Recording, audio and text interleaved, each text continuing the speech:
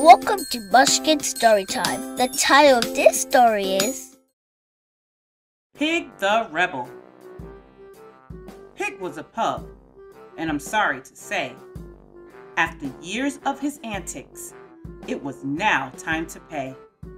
Yes, Pig was condemned to a fate oh so cruel. It was time for the dreaded obedience school. The no nonsense trainer looked Pig up and down. I hear you've been naughty, she said with a frown. She listed his crimes, each wretched endeavor. Pig pleaded innocence. What? Who, me? Never! Hush, said the trainer. Her manner was gruff. Once you're done here, you'll behave soon enough. His class was a mixture of various mutts. They all had their issues, some hyper, some nuts. A gallery of rogues, a real motley crew. What are you in for? I'm bonkers! And you? Class! roared the trainer. You will now learn to sit. Something in Pig snapped. He bellowed, That's it!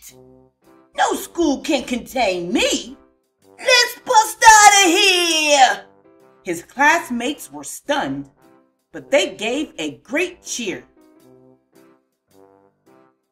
Follow me, friends! shouted Pig to his posse. Let's split from this joint and that trainer who's bossy.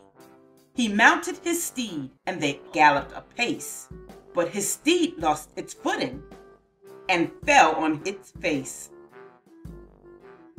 Pig found his feet though. With startling ferocity, he hurtled downhill at amazing velocity. He took out a cake stall. Oh, how those cakes flew! He took out the hot dog guy's new barbecue. His escape was a triumph. It really was. Yep. But wait, hang on. What's this? Hey, watch that last step. The gas tank went. The sky filled with fur. It looked like the end. Oh, it sure did. Yes, sir.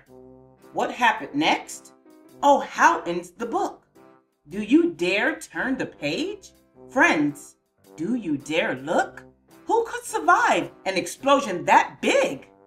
Well, one slightly barbecued, pot-bellied pig. These days it's different, I'm happy to say. You've heard this before, but hey, anyway, his fur all grew back. He did not need a wig. And somehow that blast blew some sense into Pig.